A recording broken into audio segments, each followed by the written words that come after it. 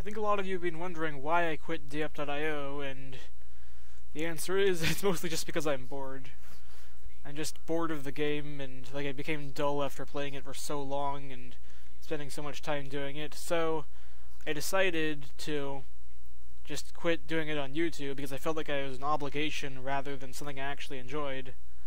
But this one game changed that.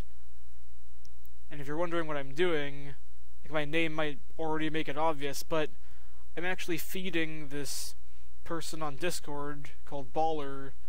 I'm trying to get him to as high of a score as possible.